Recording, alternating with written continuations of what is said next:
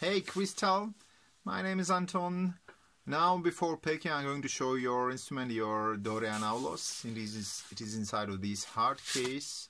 Opening it. Here is two pipes of your Aulos. So low pipe. Low pipe uh, has three finger holes and plays notes A, B, C, D, E, A, B, C, D. And high pipe has three finger holes too and plays notes uh, E, F sharp, G, high A.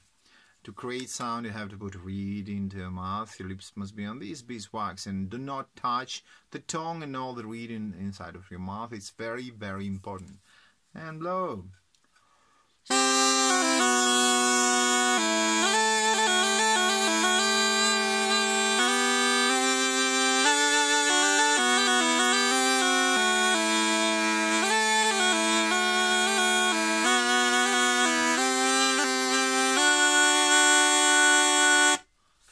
It's your instrument. I hope you enjoyed.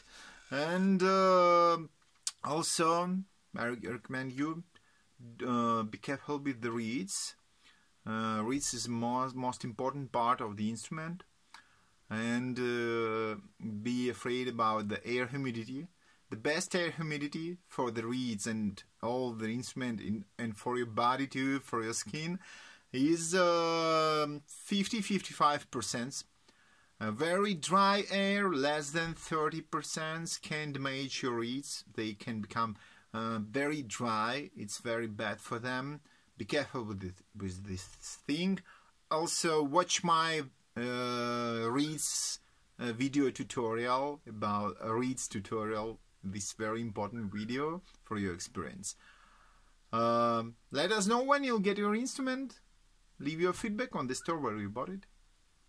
Goodbye. Thanks for watching.